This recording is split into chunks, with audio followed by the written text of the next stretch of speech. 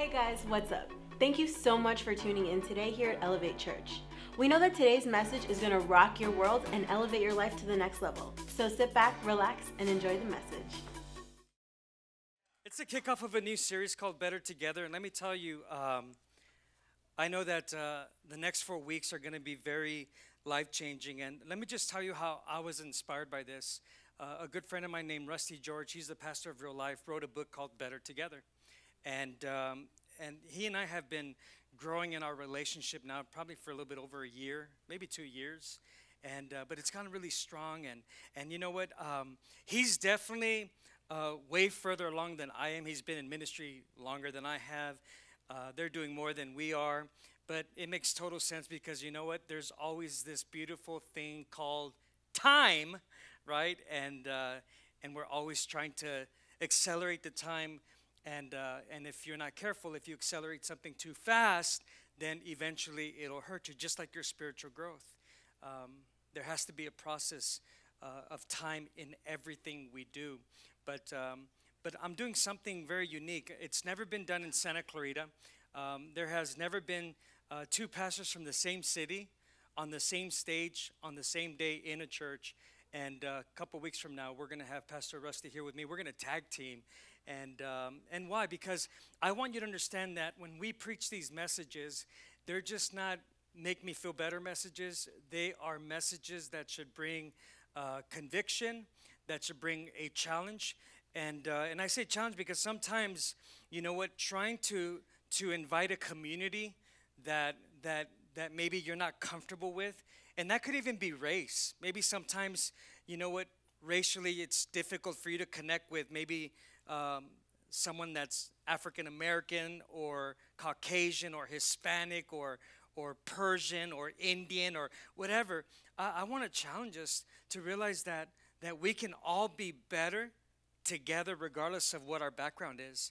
And uh, let me tell you something real life is definitely completely different from us, which is beautiful. That's why the body is awesome. So, just if I were you, I would just come and see us both because you know what? Pastor Rusty is very, very very he's very well put together. Where i'm just like wild and all over the place. So just imagine what that's going to look like on that sunday.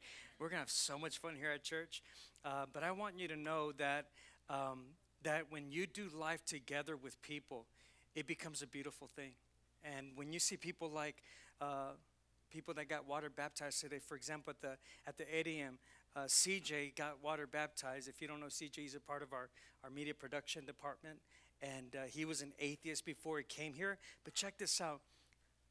He grew up in a in a uh, in a, not only a Christian home, but he's what they call a PK kid. A PK kid is a pastor's kid, and uh, here you have a, a a guy who literally grew up in the church yet didn't believe in God. But someone, ever say someone, but someone at Elevate Church started bringing him. He started hanging out, volunteering before he was even saved, before he ever came to the place of knowing God. And as he just kept coming and volunteering here, eventually he gave his life to Christ. He's been a part of our team now. He got water baptized today. But it takes someone, it takes someone to see the potential in you. It takes you to see the potential in someone and really help them through the process of time to see them be fruitful and and multiply and be blessed, but that takes people. And, uh, and you know what? I know that the skit was a little hilarious, but that's the reality. Most of us, we play tug of war with ourselves. I think our greatest struggles are not the things that are outwardly, the greatest struggles in life are the things that we deal with inwardly.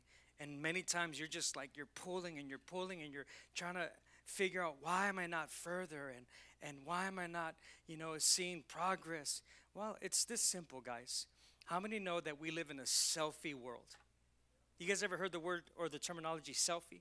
You know, selfie is a very big word today. Everywhere you go, it's a part of everyone's language. I think uh, every single week someone says, hey, let's take a selfie.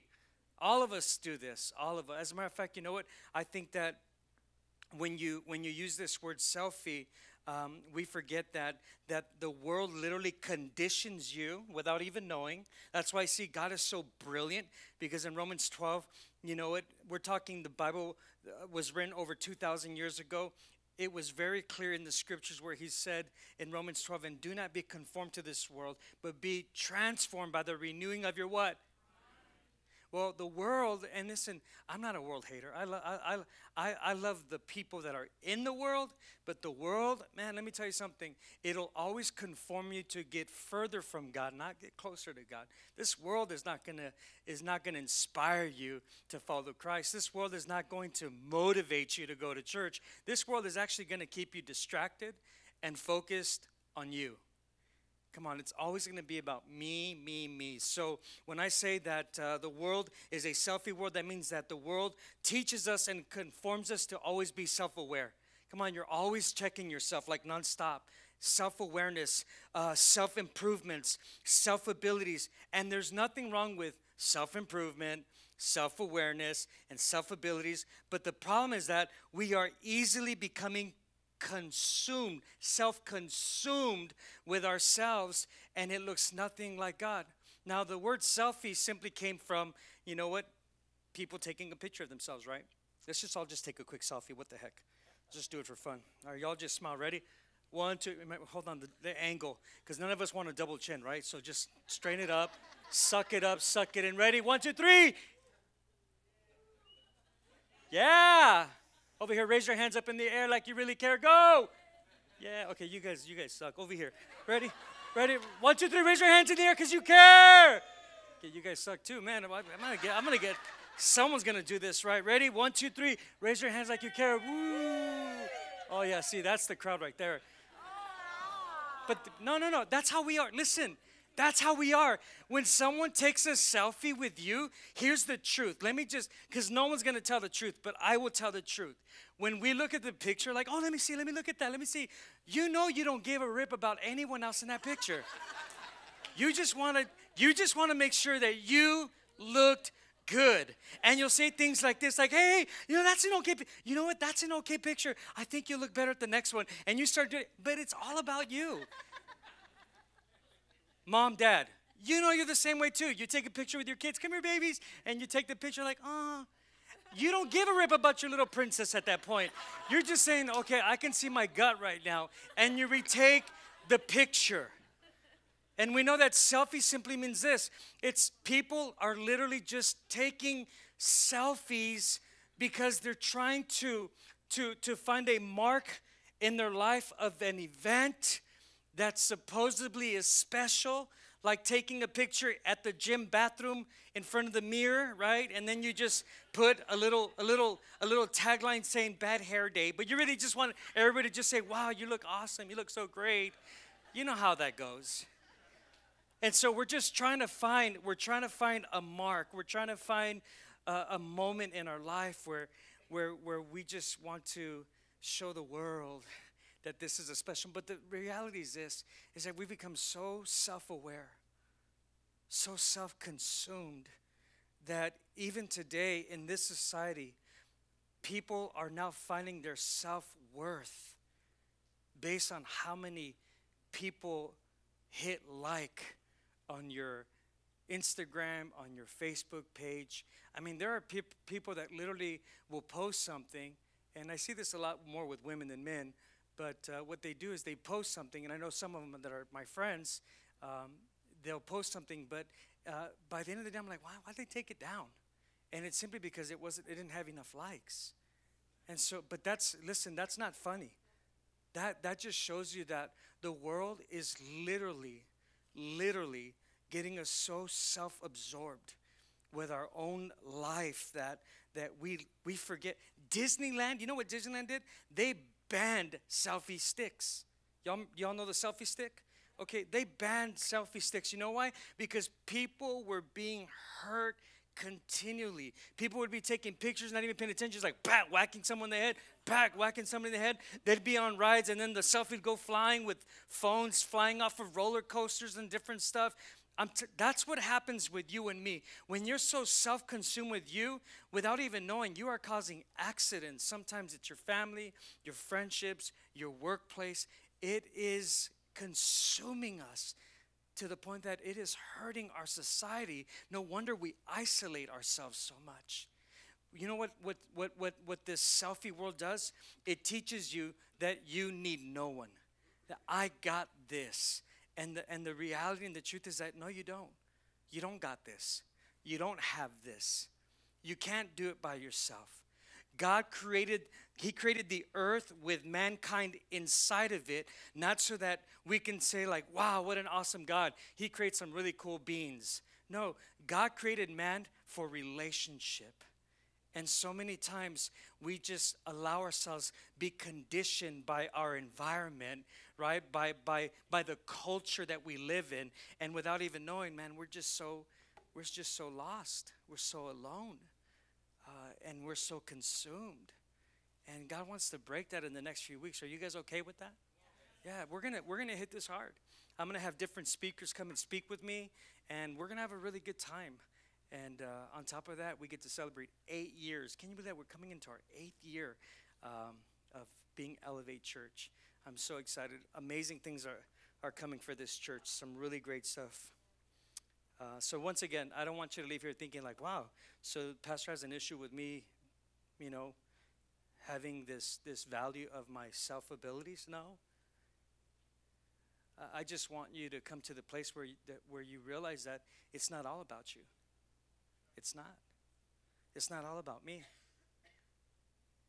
It's, it's not about me. It's not about you. It's, it's about people that, that need someone to reach out and, and be a, uh, uh, a strength, to, to be a, a helping hand.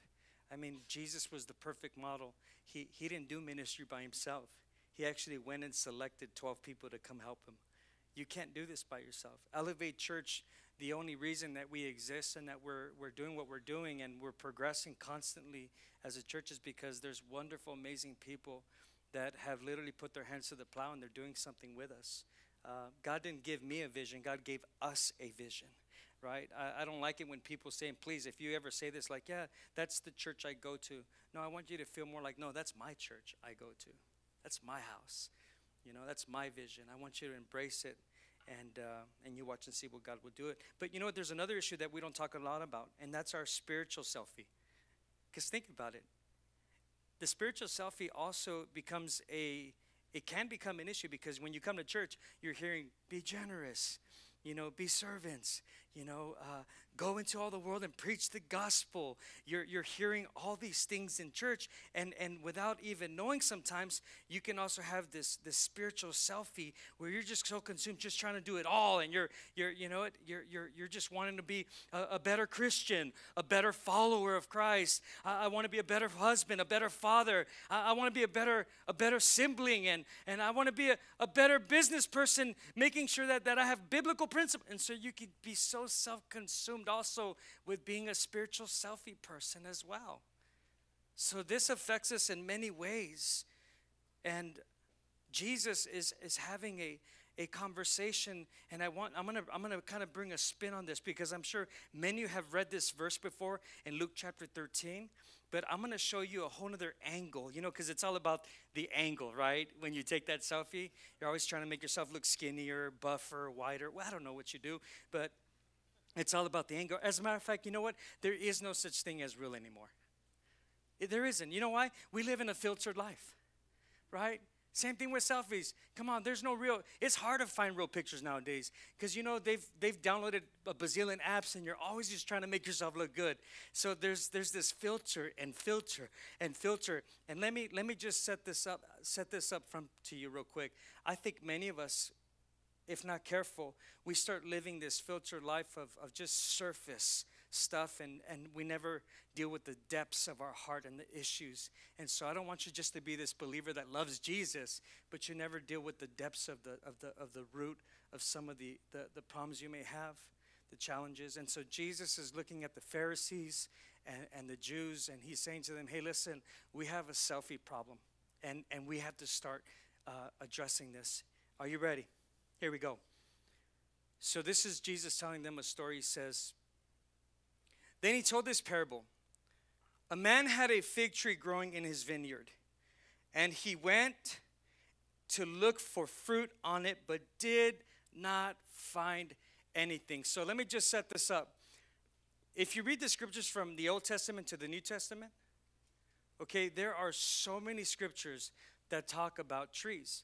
As a matter of fact, in the scriptures, not only Jesus, but many of the prophets described us as trees.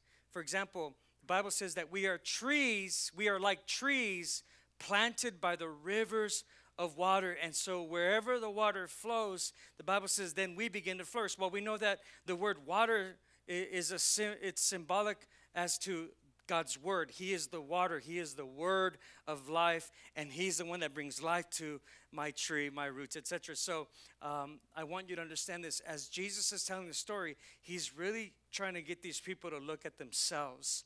And so I want you to look at yourself as well today. And so He says, so um, He. Uh, he went up to the fig tree and he went and he looked and there was no fruit on it. Now I'm going to be honest with you, okay? And you may not like this, but you got to hear the truth. Once you become a believer, God expects fruit from your life. He expects it. He expects it in your marriage. He expects it in your family. He expects it in your parenting. He expects it in your business. He expects it in your conduct. He expects it in everything you do. There is an expectation that God places on a believer, on a follower of Jesus Christ. He places an expectation. You know why? Well, think about it. Many of you, you expect God to provide for you, you expect God to heal you, right? You expect God to give you peace, you expect God to answer your prayers, right? You expect God to reach your family.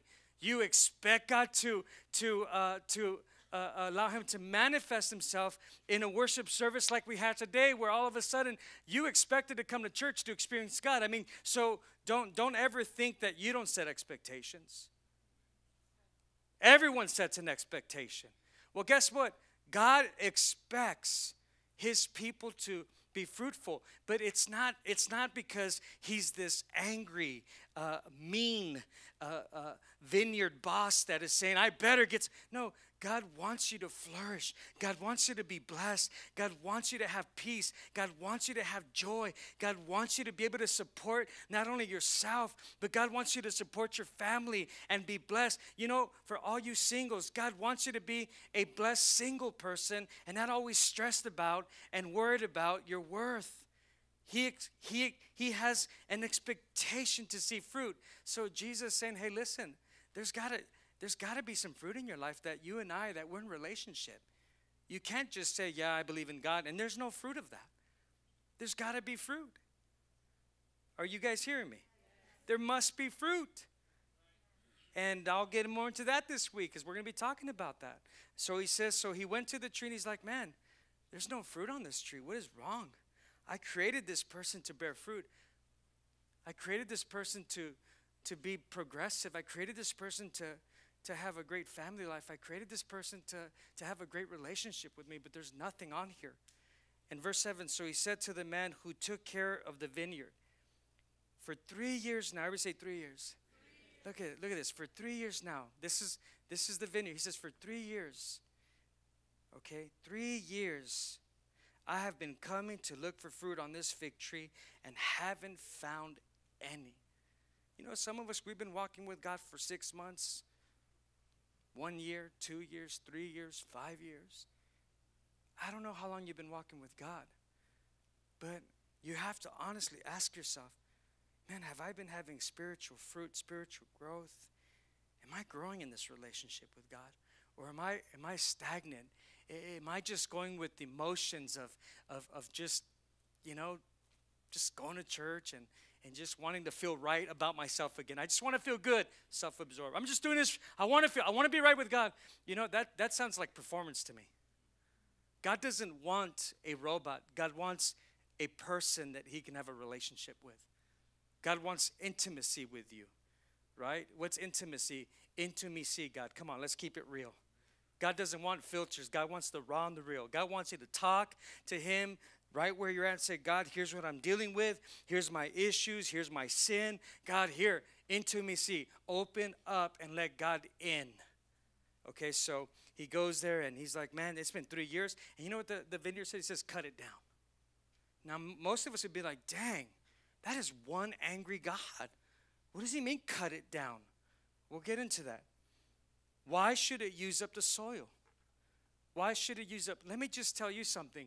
If you were an owner of a business that was thriving and you had a supervisor, you had a manager, an employee that was stealing from you, that was not working the eight hours you expected them to work, that was not showing up on time, that was causing you to lose customers, that was causing you to lose thousands and thousands of dollars every single year, would you keep that person? Heck to the no. You wouldn't. You would immediately say, cut, you're fired, you're out. I mean, if you have any sense of, of, of growth and, and any, any, any perspective of, of wanting to better your, your business, your life, you wouldn't put up with that. How is it that we as believers, we look at the word and then we just feel like we can just do whatever the heck we want? We can't. That's what this story is about. I'm just trying to paint a picture for you. I want you to understand this. So he says, cut it out, get rid of it, cut it. But look at this. He says, Sir, the man replied, Leave it alone for one more year. Say one more year. Come on, I believe that the grace, this is not just a story of truth, but it's also a story of grace for your life. Because when God brings you truth, many of us feel condemned, but God doesn't bring truth to condemn you. God brings you truth to bring you awareness of where you're at, but then He gives you grace. He gives you one more year to get it right. He says, just give it one more year. One more year. He says, an aisle, let me say an aisle, and I'll dig around it and I'll fertilize it. And if it bears fruit next year, awesome, fine. But if it doesn't bear fruit, then and only then, then go ahead and cut it off. The reality is this is that God gives us time to repent. God gives us time to come to the place and accept the fact that maybe there's some things that have kept us from this relationship between God and I. And let me tell you something, and sometimes those things can be idols that we've brought into our life, but idols can also be in the form of people. And people can keep you from your spiritual growth. People can keep you from ever coming to that place where you you you begin to grow and you become you begin you begin to become the person that God designed and created you to become. And so this man is saying, "Hey, please, just just one more year bear with me now let me break it down for you what this scripture is saying put my points up real quickly here here's the breakdown of luke 13 so number one god represents the owner of the vineyard he's the owner so Jesus is talking about the owner. Do you realize that the Bible says this that you were bought at a price? In other words, your salvation, it wasn't worthless. Okay? It was worth everything. It was priceless. I mean, it cost Jesus his blood. So Jesus is telling him, hey, listen, you can't just think that you can just treat this vineyard like whatever. I mean, God paid for this vineyard, and He expects this vineyard to produce. He expects this vineyard to expand. He expects this vineyard to increase. I mean, that's not a bad thing. How many want to increase in finances? How many want to increase in joy? And how many want to expand in your in your family life? How many would like to? Maybe you live in an apartment right now. How many would like to have a home one day? Well, God wants to bless you. And so he represents the owner. He's the owner of your life. Say it, I'm not my own but we live like we're our own. You know, you know what? I think most people, most people have a challenge accepting the truth because we've already came up with our own uh, theology, right? And we've twisted it so that it fits perfectly in my lifestyle. That's called twisting the scripture. Okay, number two, the vineyard is you. The vineyard is me. Number three, God bless you. Number three, three guys. Thank you. He's like, Thank you so much. The coming of the owner for fruit is God's desire that we should produce fruit. So we know the story says, and so the owner came. Listen, and so the owner came, just like today, God's presence came, and and and here's the deal: is that he came for the purpose that He desires. Do you realize that God desires the peace you've been looking for more than you desire it? God desires your success more than you desire success. God desires more health than you desire the health that you're looking for right now. God's desire will always trump whatever desire you have. God wants it more than you want it. That's that's so awesome that we have a God who who comes, he comes and he shows up. God will show up just for you today. You know why? Because he desires you. God shows up to church just because he desires you. You didn't come to see him. God's been waiting for you all night long. And then you showed up, God's like, Yep, that's my son. So he wants it more than you do. He wants it more than you do. He does. And so he desired. Number four, look at this. And so the barrenness of the tree, this is where it gets sad, but don't worry, I'll bring you back up again. The barrenness of the tree is the wickedness or the lack of personal spiritual growth in God. So when he comes to the tree, when he approaches you or when he approaches me and he's looking at it, okay, just picture you right now. This is you right now. This is me. This is Mauricio. And so when he approaches Mauricio, he's looking at me. And he's coming because you know what? He owns me. He loves me.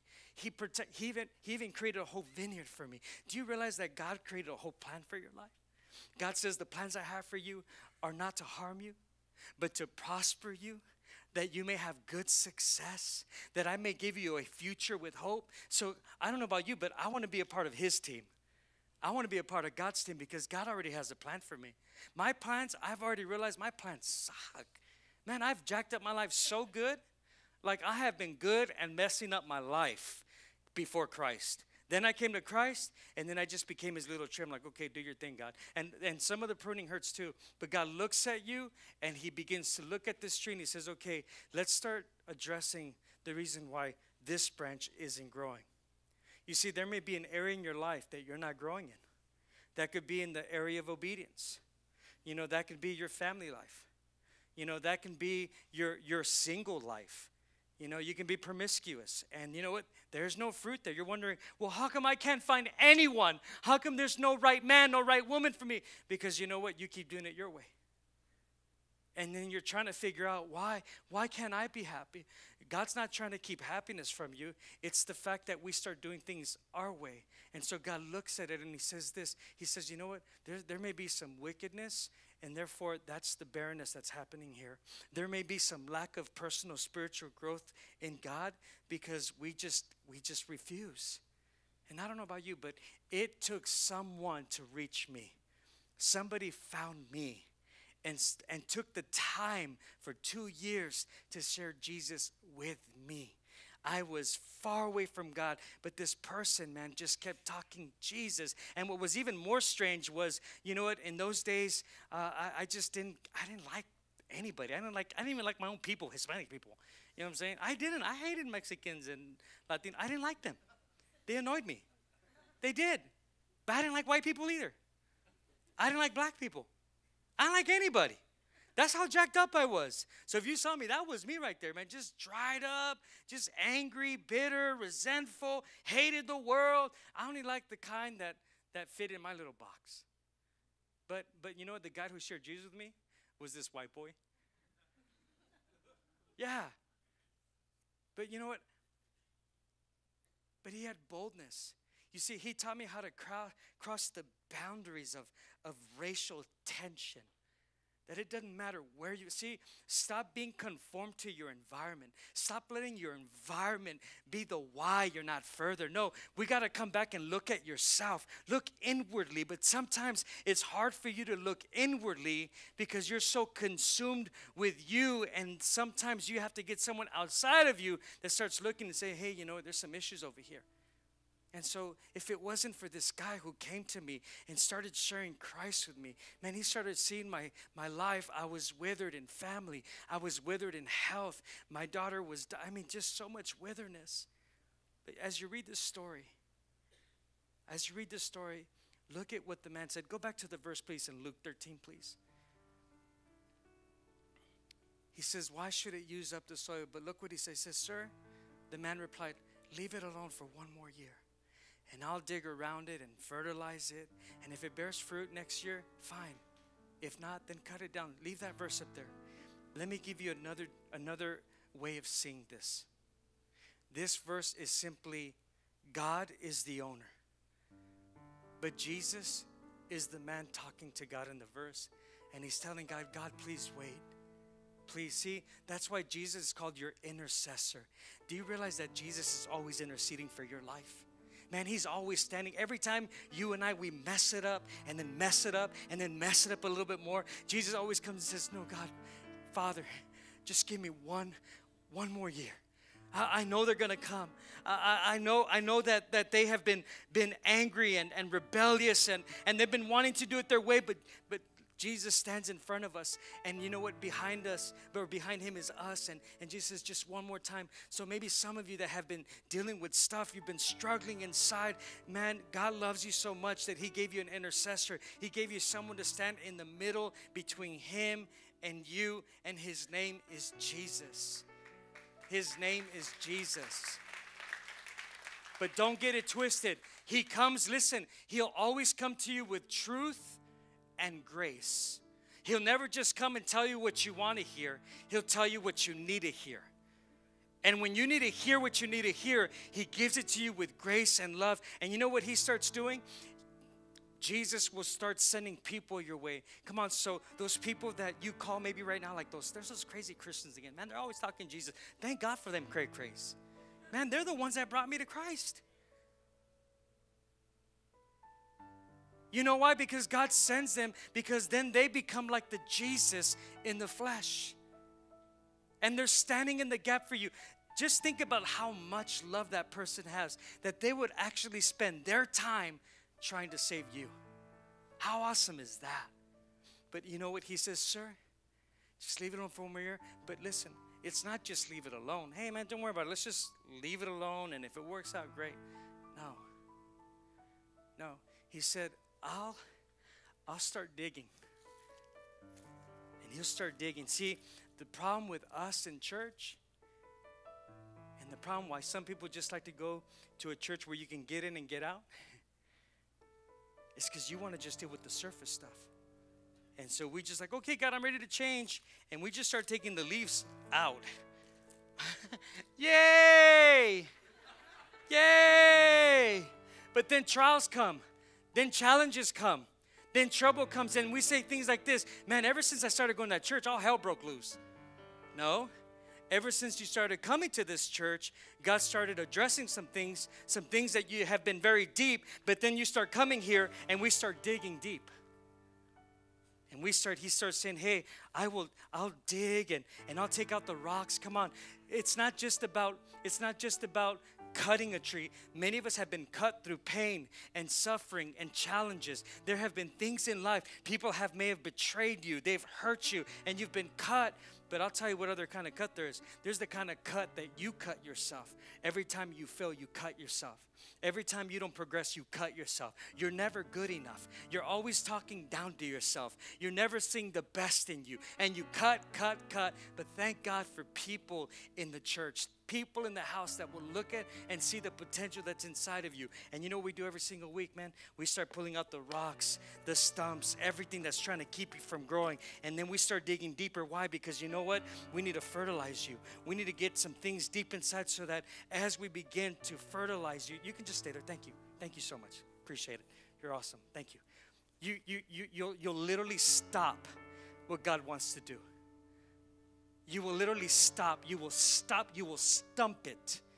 And God's saying, listen, we gotta, we gotta stop this. And we gotta start going just a little bit more profound. We gotta start going just a little bit more deeper. We gotta start addressing some of that stuff because so many of us, we just wanna overlook things. Guess what? God doesn't look, overlook anything. And you know why He doesn't look over, uh, doesn't overlook anything? Because He sees the potential in you. And if you were to overlook whatever it is that keeps addressing and messing with you, then you'll never grow to the capacity that God created you to, to grow. God wants to deal with the deepest things. But I don't want to deal with that. I don't want I don't want to go there. God says, "Man, listen. I want to go there. I want to go deeper. I want to go profound." Because you'll never live a life of profoundness until you start addressing those things you'll never get to the level that God needs you, that God desires you to be in, as a couple, as a person, as a parent, as a, as a business owner, or a, a person that has a, a call of God, you'll never get to the place. See, I wouldn't be here today if it wasn't for the process called time. Notice he didn't say, hey, just leave it alone. Man, I, will get to it in, in, as soon as possible. No, the man was very, very intelligent.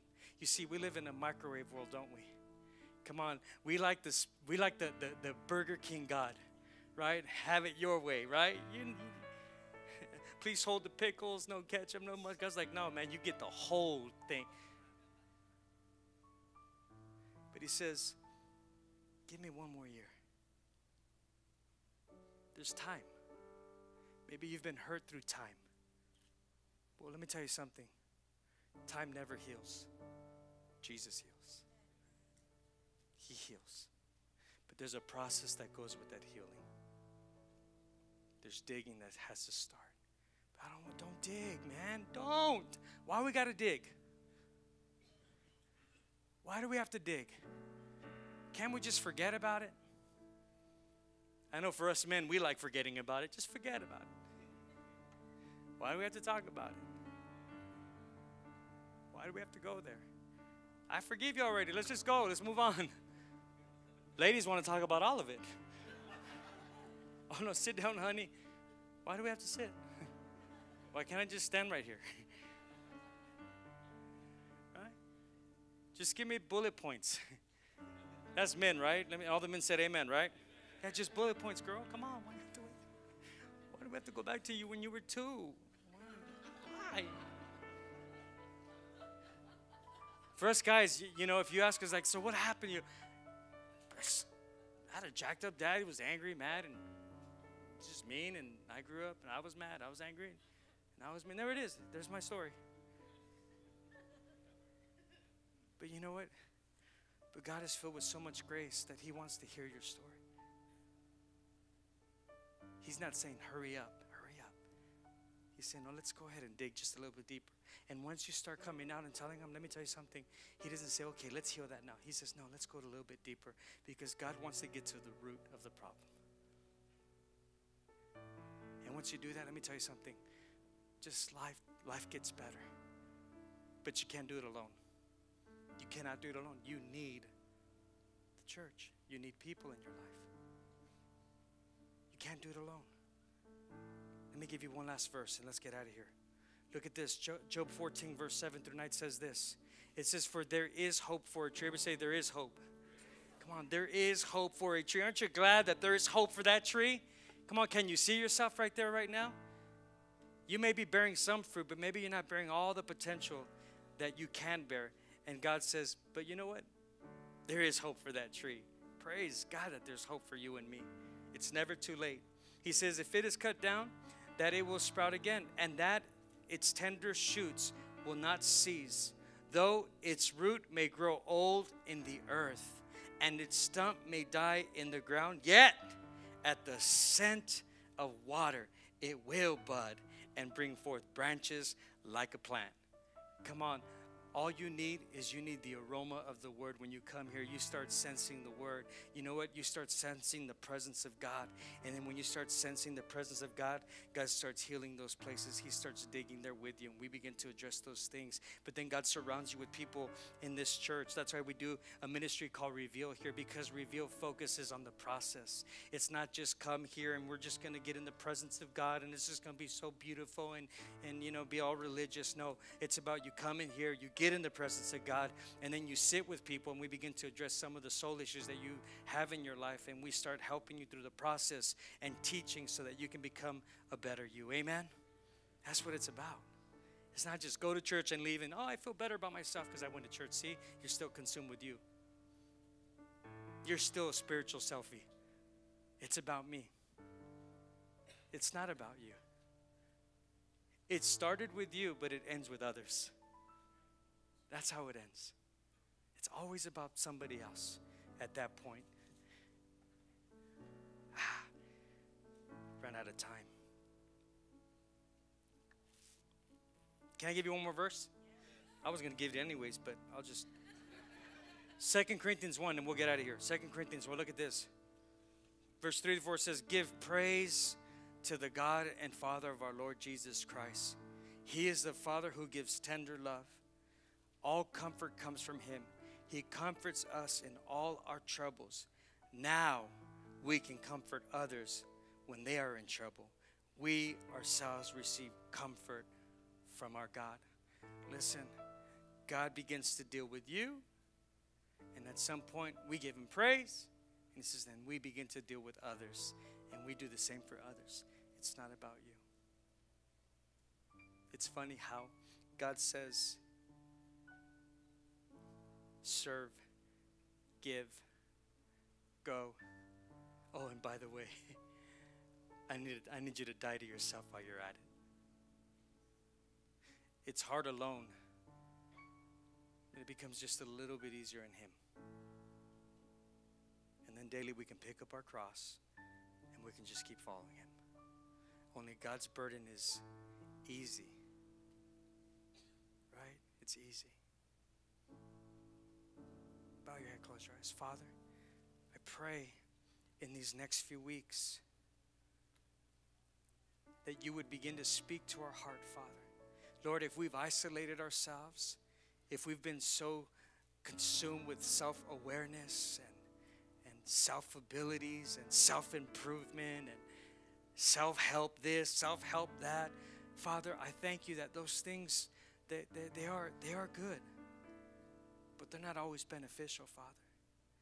Not at the expense of, of not walking in tune with you, not walking in alignment with you, not allowing your word, Father God, to govern our life, to govern our decisions. Jesus, I pray that today, come on, just lift your hand to heaven and say, Jesus, I surrender. Come on, just, just between you and God, just tell him, God, I surrender. I surrender. Come on, tell him, God, I want to be fruitful. Come on, fruitful is not getting that new house, that new car, that new job. That's not fruitfulness. That's the added blessing. Fruitfulness is that when we're able to walk in the obedience of God, when we start looking more like God, smelling more like God, talking more like God, loving more like God, that is fruitfulness. That is fruitfulness. It's not the stuff that you obtain. It's not the stuff that you get. It's not the bells, the whistles. It's not. It's not the cool gadgets. It's. It's none of that. It's not. It's not feeding the homeless. It's. It's being in that place when you are right standing with God because you love Him and you're consumed with Him. You're consumed with His love. You're consumed with His grace. You're consumed with His truth. And out of that flows the rivers. And so, Father, thank you for helping us. Thank you, Jesus, for standing before us and before the Father. Thank you for being our great attorney, Jesus, for saying to the Father, not guilty, because we were bought at a price. And help us in our weakness. Help us in our faith to trust you, Jesus, in every season of life one more year. If today's message impacted you in any way and you want to help us spread the gospel with a financial gift, text the number below. And we know that someone's life will be changed the same way that yours was today.